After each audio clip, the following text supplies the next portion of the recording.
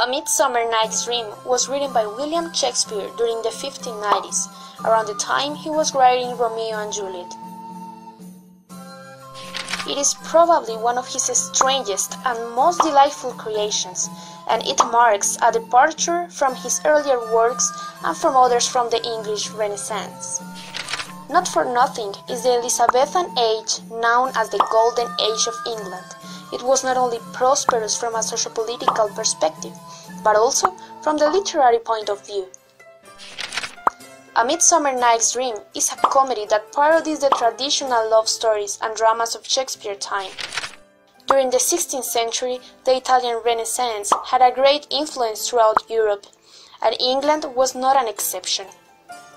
The Renaissance itself meant a revival of classicism, where the standards of art, thought, and culture in general are soaked in the antiquity of Greece and Rome. Therefore, the gaze towards the Mediterranean shores took into account not only the present situation, but also a distant and glorious past. In fact, the inherent tensions in the comparison between past and present are what principally dictates the di direction of the English Renaissance and eventually lends to it its unique character. Now, if we pay close attention to the title, we might find that it refers to an English holiday costume, Midsummer Eve, or the night of the summer solstice on June 23, where Englishmen and women would spend the night outdoors around bonfires telling supernatural tales of fairs and witchcraft. It also refers to the rite of May or Maying, a similar English tradition that took place on the first night of May, when young men and women would engage in singing, dancing, and possibly more amorous pursuits in the woods outside their towns.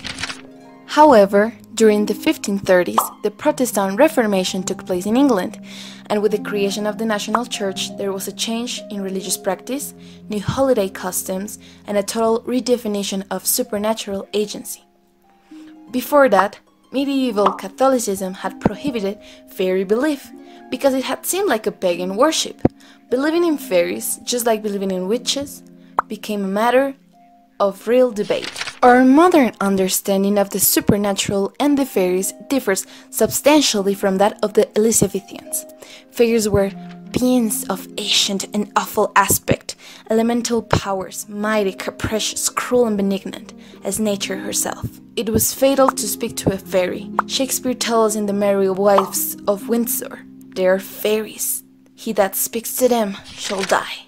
In English and Celtic folklore, fairies are generally depicted as mischievous creatures who come out of night to frolic about the countryside, playing pranks on innocent people. And of course, this is what happens in Shakespeare's play.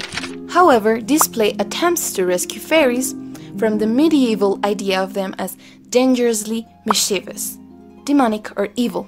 Fairies had traditionally been linked with crime, sexual indiscretion, and even violence.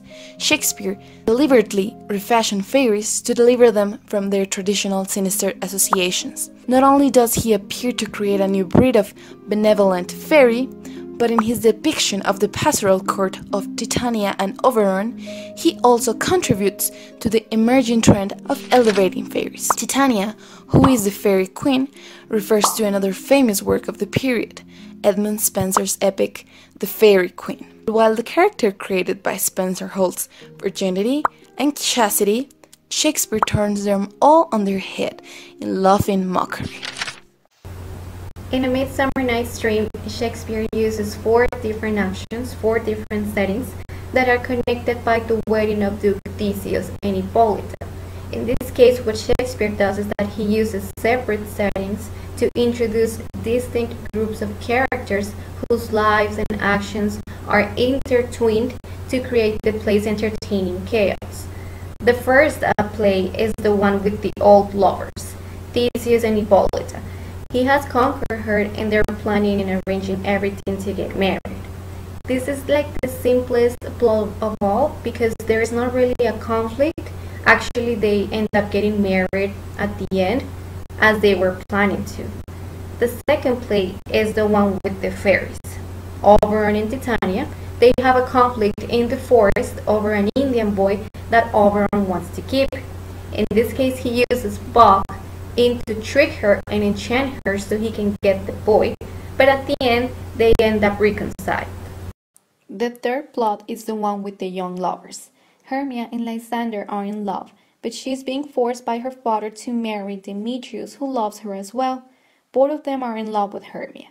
But Helena is in love with Demetrius, who despises her. This is a very common structure in the pastoral novel that influenced the play. However, Shakespeare adds some changes to the setting that this type of novel has, and we're going to be discussing later on. When the conflict is presented, the lovers go to the forest and run away. Helena tells Demetrius about this, so he decides to follow them. Helena follows him as well, thinking she can gain his love, but sadly, this doesn't happen. In the forest, Oberon sends Puck to spray a magic potion on Demetrius' eyes, so he will fall in love with Helena. But Puck, by mistake, puts the potion on Lysander, so it's Lysander who suddenly falls in love with Helena. In an attempt to fix the mistake, Puck puts a spell on Demetrius, who falls in love with Helena too, and now both of them are completely in love with Helena. Hermia, on the other hand, doesn't understand the confusion and starts a conflict with Helena, who thinks she stole Lysander's love, while Helena thinks everyone is playing a very bad joke on her. Demetrius and Lysander in the forest start a conflict over Helena's love, but Puck confuses them all, starting a fog in the forest so they don't really get to fight. When the lovers go to sleep, Puck removes the spell from Lysander so he will stop loving Helena and love Hermia again. Puck keeps the spell on Demetrius so he will continue loving Helena. When the lovers wake up in the morning, they realize they have changed for good, like if everything that happened was just a dream. The lovers are immense in confusion, heartbreaks, switching of loves, friendships restore for good, but at the end they end up getting married. Lysander and Hermia get married, and so do Demetrius and Helena. The fourth plot is the War of the Mechanicals. They are planning a play on the tragedy of Pyramus and Thisbe. This is for the royal wedding.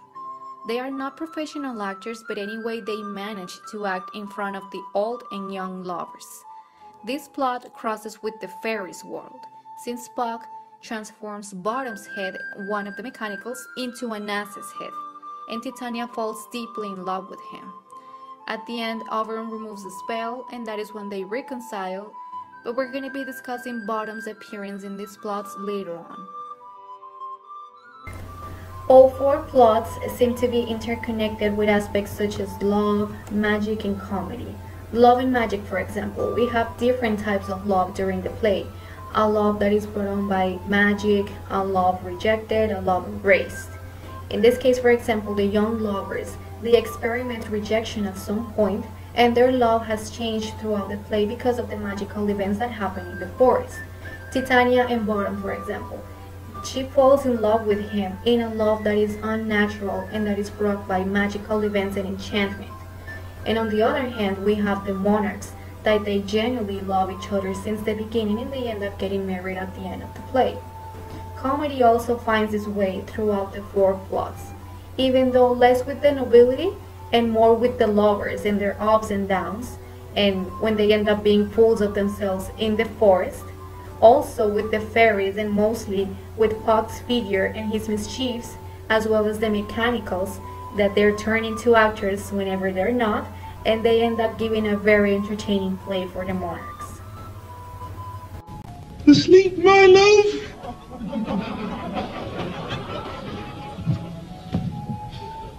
What? Dead, my dove?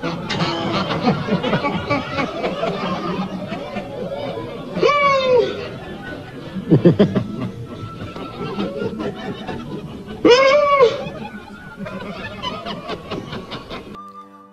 In Act Number 5, the scene is used to represent many of important ideas and themes that are evident in the four plots as in the main one. Since the mechanicals are such bumbling actors, their performance satirizes the melodramatic Athenian lovers and gives the play a purely joyful and comedy ending. Pyramus and Thisbe face parental disapproval in the play within a play, just as Hermia and Lysander do, the theme of romantic confusion is reflected as Pyramus mistakenly believes that Thisbe has been killed by the lion. just as the Athenian lovers experience intense misery and ups and downs because of the mix ups caused by the fairies in the forest. The Mechanicals play is therefore a kind of symbol for A Midsummer Night's Dream itself.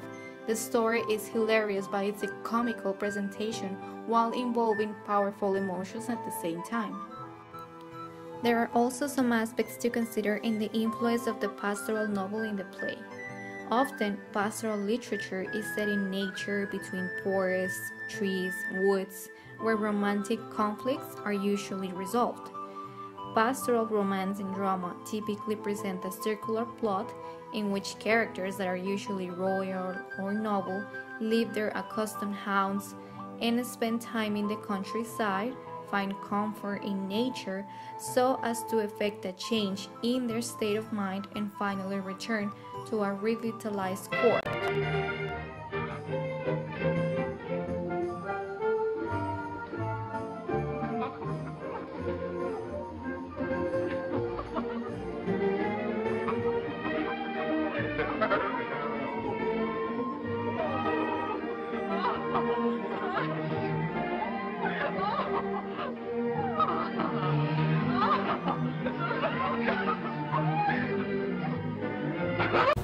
In A Midsummer Night's Dream, the conflict begins in the city, in Athens, where Helena's love is neglected by Demetrius and Hermia is arranged to marry someone she doesn't love. Therefore, they run away to the forest where they can escape the Athenian love, meaning the reality they live on, and be able to love each other without restrictions. However, they arrive to an Athenian non-human forest that is dominated by the supernatural, populated by magical creatures, and where a conflict is already set between the fairy monarchs. This is a contradiction itself from the pastoral set where serenity rules and allows an escape from reality. Indeed, there is an escape from reality, but the nature they arrive to is permeated by magical events, it's a place of confusion, and it's a place where people lose their identities and even their minds. So the human visitors, which are the four young lovers, and the rude mechanicals that rehearse the play in the forest, they live forever changed by the transgression that occurs there. Indeed, the conflict is resolved because the couples came out of it changed for the good, but only by the intervention of the magical creatures, the fairies.